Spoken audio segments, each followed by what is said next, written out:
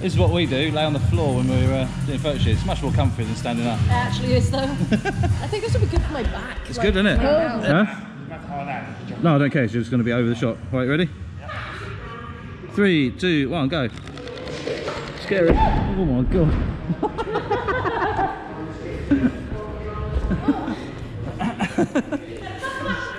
Good morning, guys. Today we were down the gym. Soheila, Kiernan, and myself doing a wrestling and also boxing style photo shoot. We had one hour to do this, and it actually turned out pretty well. But we were obviously very, very short on time, and we had to work very, very quickly. And uh, this is how we got on.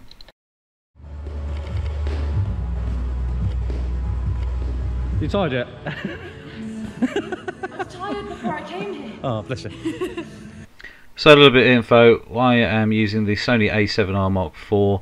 Also had the 35mm f1.4 Samyang lens with me, and also the 14mm Samyang lens with me, and also the 135 G Master, which these shots were taken with. The Rotolight Aeos as our lighting, and obviously it was a very bright gym, and uh, it's bright colours, yellow and everything everywhere. So black and white worked quite well, and I think it gives it more of a classic feel as well. Um,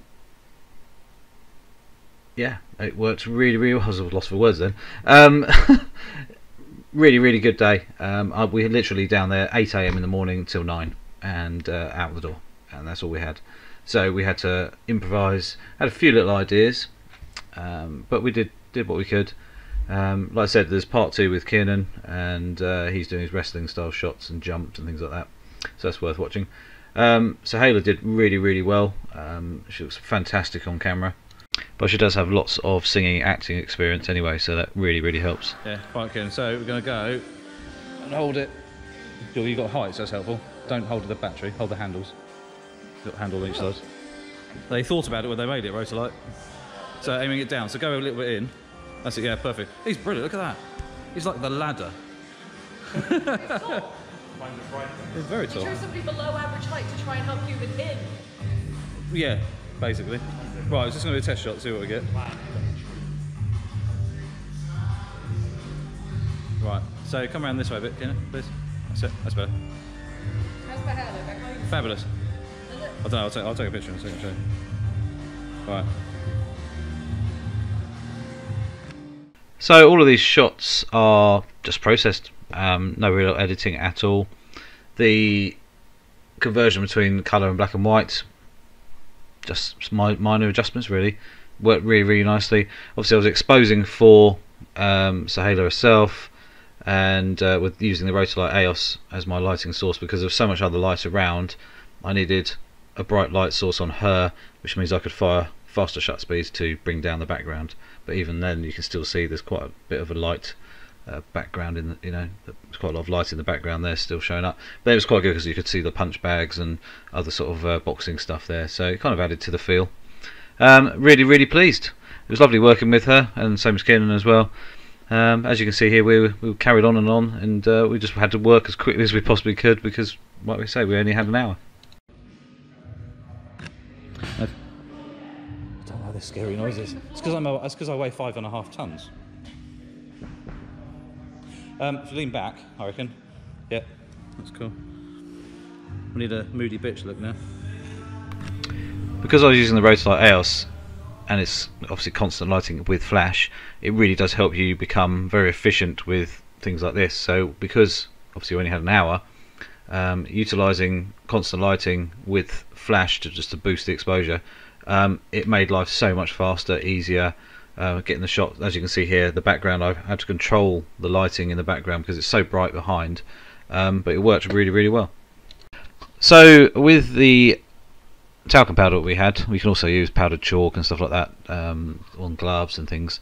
Um, with Soheila, I wanted to try something a little bit different, kind of give it the smoky atmosphere.